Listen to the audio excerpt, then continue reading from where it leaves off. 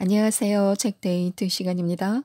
오늘 소개해드릴 책은 성공의 열쇠는 적성이나 재능이 아니라 집중력이다 라는 책입니다.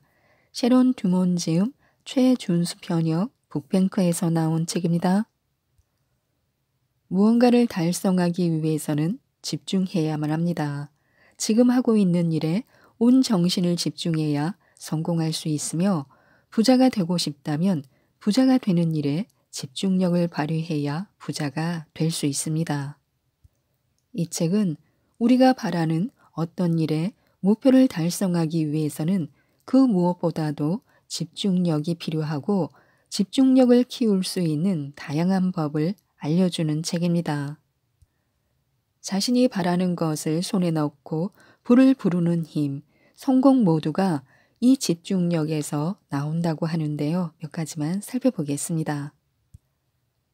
성공의 비결은 이것밖에 못한다가 아니라 나는 이만큼이나 할 수 있다 라는 생각을 갖는 것입니다. 자진해서 대가를 치르고자 하는 사람은 성공하기 마련입니다. 여기서 말하는 대가는 돈을 말하는 것이 아니라 노력입니다. 성공을 위해 빼놓을 수 없는 첫 번째 요소는 뭔가를 이루고 싶어 하는 뛰어난 인물이 되고 싶어 하는 바로 그 욕구입니다. 그리고 다음은 그 방법을 배우는 일, 그리고 또 그 다음은 그것을 실행에 옮기는 일입니다. 성공의 비결은 자신의 입지나 지위와는 상관없이 늘 향상심을 잊지 않는 것입니다. 배울 수 있는 것은 모조리 배우고 나는 이것밖에 못한다가 아니라 나는 이만큼이나 할 수 있다라는 생각을 갖는 것입니다. 바라는 것을 손에 넣으려면 바라는 것들을 마음속에 그리면서 그것이 실현될 때까지 의지를 그곳에 집중시키는 것입니다. 모든 소망은 이룰 수 있습니다. 집중력만 잘 활용하면 바라는 것 무엇이든 손에 넣을 수 있습니다. 하지만 이루어질지 이루어지지 않을지는 그 소망을 이루는 일에 우리가 얼마나 집중할 수 있느냐에 달려 있습니다. 그저 무엇을 갖고 싶다는 생각만 가지고는 손에 넣을 수 없습니다. 그게 있으면 좋을 텐데 이렇게 바라는 것은 나약함의 표출입니다. 동화의 세계가 아니니 그저 단순히 소원을 빌기만 해서는 안 된다는 것입니다.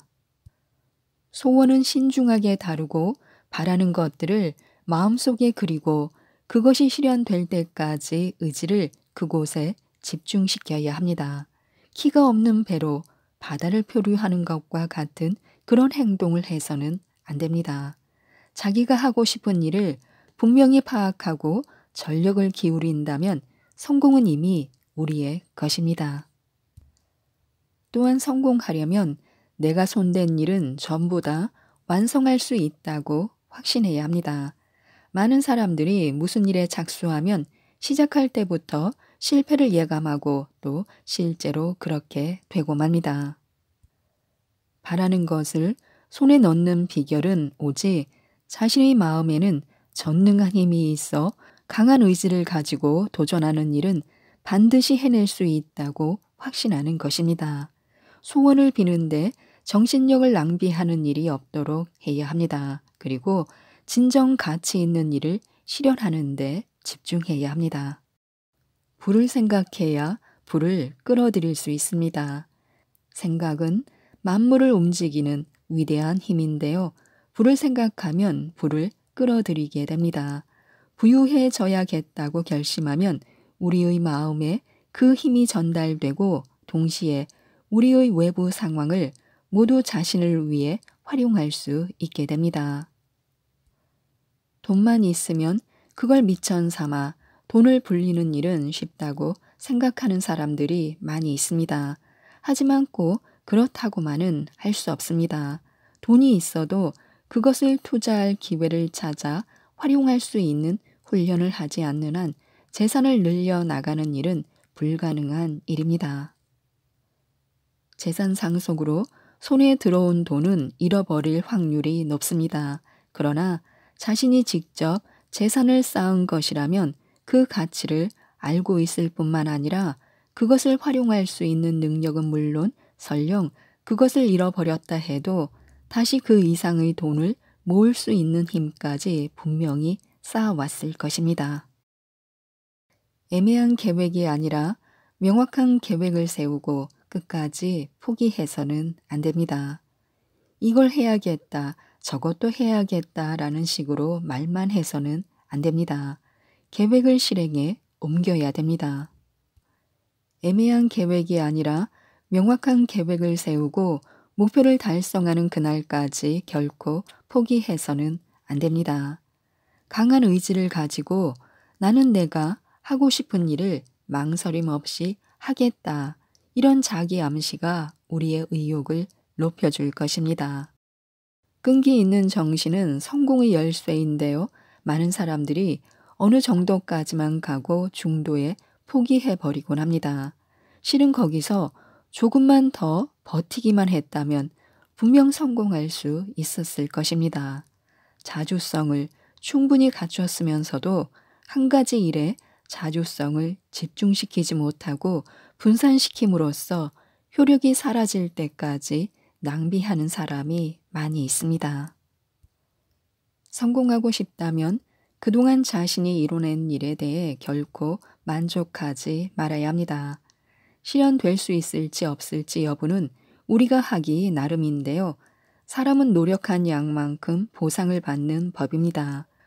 우리는 자신이 이렇게 되어야겠다고 마음먹은 모습으로 바뀌기 마련입니다. 올바른 마음 자세로 임한다면 능력에 비례한 성공을 손에 넣을 수 있습니다. 그 조건은 다음 두 가지 뿐인데요. 첫째 조건은 자신이 지금 현재 하고 있는 일, 그리고 지금까지 이뤄낸 일에 대해 결코 만족하지 않는 것입니다. 둘째 조건은 불가능이라는 말은 자신을 위해 있는 말이 아니라고 굳게 믿는 것입니다. 마음이 그 힘을 사용할 수 있도록 자신감을 키워야 합니다. 자신이 생각을 지배하지 못하고 생각의 지배권을 넘기는 사람은 성공할 수 없습니다. 종이 한 장 준비하고 나는 내 자신이 원하는 건 모두 손에 넣을 수 있고 내가 이렇게 되길 바라기만 하면 뭐든지 될 수 있는 힘을 가지고 있다라고 적어 보시기 바랍니다. 그리고 이 말을 항상 마음에 담아두면 큰 도움이 됩니다. 한 가지 생각을 쉴 새 없이 계속 품다 보면 육체의 쇠약을 초래하기 때문에 그러한 상황은 불건전하다고 할 수 있습니다. 자신이 생각을 지배하는 것이 아니라 생각에 자신의 지배권을 넘기는 것은 큰 잘못입니다. 집중력을 통제하지 못하면 이렇게 건강을 해치게 됩니다. 인생을 통제하고 싶다면 우선 자신의 생각을 통제해야 합니다. 진지한 소망과 진심에서 우러나오는 회한을 담아 명상을 하면 명상한 일들을 실현할 수 있습니다. 이것이 성공으로 가는 제 1단계입니다. 자신이 되고 싶어 하는 모습대로 생각하고 말하고 행동하면 그대로 될 수 있습니다. 사람이 할 수 있는 일은 스스로가 해야 되겠다라고 생각한 일에만 국한됩니다. 생각에 집중하고 스스로를 단련하여 두뇌의 힘을 늘리고 정신적 에너지를 크게 키워야 합니다. 그렇지 않으면 게으름 뱅이, 갈피를 못 잡는 인간, 무슨 일이든 쉽게 포기하는 사람, 쓸모없는 인간이 될 수 있습니다. 모든 것은 자신의 집중력, 즉, 생각을 한 곳에 집중시킬 수 있는지 그 여부에 달려 있습니다. 사람을 강하게 만드는 것도 약하게 만드는 것도 습관입니다. 좋은 습관이든 나쁜 습관이든 습관이 미치는 영향은 아무리 높이 평가해도 지나침이 없습니다. 습관은 인간을 지배하는 법칙 가운데 가장 뿌리 깊은 것이라는 말이 있습니다. 사람을 강하게 만드는 것도 약하게 만드는 것도 습관이기 때문에 그 누구도 자신의 습관보다 강해질 수는 없습니다. 스스로를 성공한 사람이라 생각하고 또 그렇게 믿으면 다른 사람들에게서 그렇게 인정받게 됩니다. 그런 태도가 몸에 배며 성공한 사람이 되기 위해 필요한 것들을 우리에게 가져다 줄 것입니다. 큰 일도 두려워할 필요가 없습니다. 용기를 가지고 맞서서 자신이 목표 달성으로 인도해 줄 것이라 생각하는 방법으로 추진하기만 하면 됩니다. 처음부터 대성공을 거두지는 못할지라도 목표를 높이 설정해 두면 목표에 조금은 덜 미치더라도 많은 것들을 달성할 수 있습니다. 또한 올바른 조건 하에 손에 넣은 분은 인생을 풍요롭게 해줍니다. 모든 것에는 그 나름대로의 가치가 있기 마련입니다. 모든 것에는 좋은 사용법과 나쁜 사용법이 존재합니다. 불을 얻기 위해서는 자신을 좋은 방향으로 이끌어줄 만한 환경을 만들어야 합니다. 즉, 자신이 단련받을 수 있는 환경을 스스로 찾아내어 그 환경의 영향을 받으며 자신을 형성해 나가는 것입니다. 부는 통상 목표 달성의 성과물입니다. 그렇다고는 해도 근면 성실이 있고 부라는 결과를 가져다 준다고 단정할 수는 없습니다.